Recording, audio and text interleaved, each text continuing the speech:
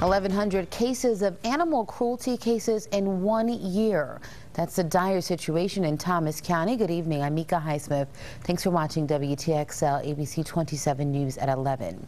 Animal advocates, they are now trying to stop the problem. WTXL's Ty Wilson joins us now live in the newsroom. And Ty, I saw some of the pictures. They are heartbreaking and gruesome, too upsetting to show on TV. Yeah, Mika, we looked at those pictures together. Terrible cases of cruelty. In fact, just describing these cases may be disturbing to you. Two baby pigs killed and stuffed in a mailbox. One dog shot and killed another dog with a six inch cut on its throat. Some of the images you will see could be hard to watch.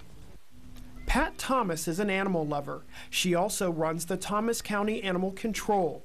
She says the recent cases of animal abuse and cruelty really shakes her up. They have to, to take it and they suffer, and that's what breaks my heart is knowing that these animals are suffering the way that they are and nobody's there to help them. In 2012, investigators from the Thomas County Animal Control responded to 3,000 calls. Around 1,100 of them involved animal cruelty or abuse. I think the increase is due to the economy and a lot of people out of work and uh, can't afford to take care of the animals. And uh, it's just that uh, they're depressed, they're upset, and they take it out on animals.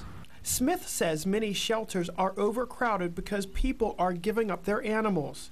She plans on holding town hall style meetings to educate people in hopes of bringing the number of animal cruelty cases down. We'll never stop it, but maybe we'll put a dent in it.